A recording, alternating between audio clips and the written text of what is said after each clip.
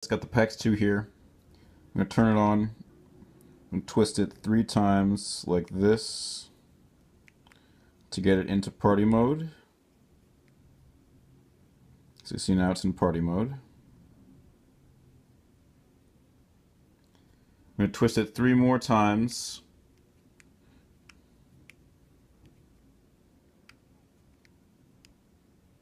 Now I'm in the sweeping lights mode.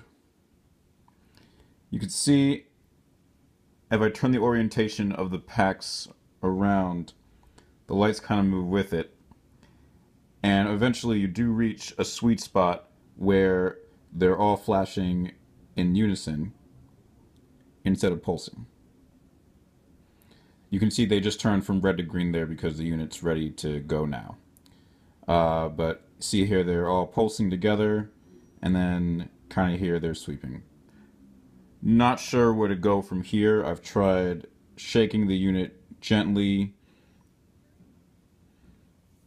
touching the lip sensor,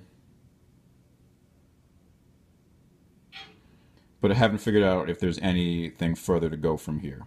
Want to see if the community can figure something out for all the PAX 2 owners who have this model. Uh, and uh, if I twist it three more times,